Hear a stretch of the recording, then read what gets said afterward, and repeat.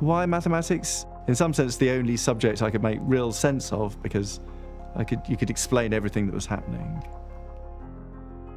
So, right now, I'm interested in teaching computers about modern research mathematics. So, this is computer theorem provers have existed for decades, but it's only relatively recently that they've started to understand what humans are doing uh, in 2022, and that's what I'm interested in.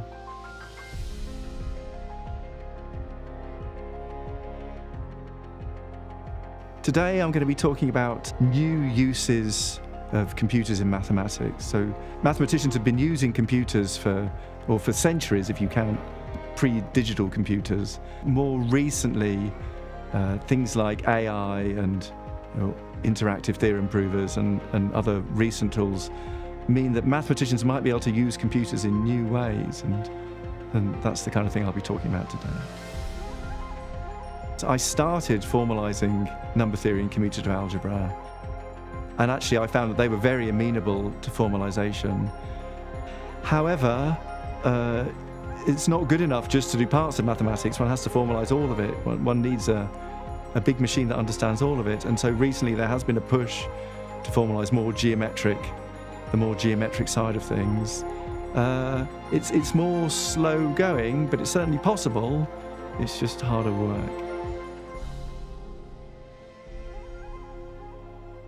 So this whole area of, of using computers in this, in this new way, this area of using computers to prove theorems in mathematics and to verify theorems. It's existed for decades, but the sort of the, the mainstream mathematician community have really not engaged with it in any way.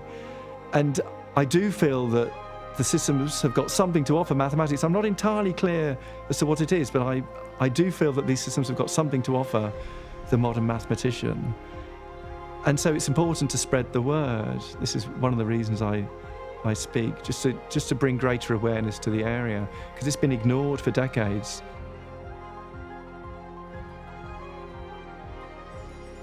People just need to remember that we have established ways of using computers in mathematics, but there are other new ways which are appearing, and those new ways, there is a chance that they will really change the way mathematics is done in the future.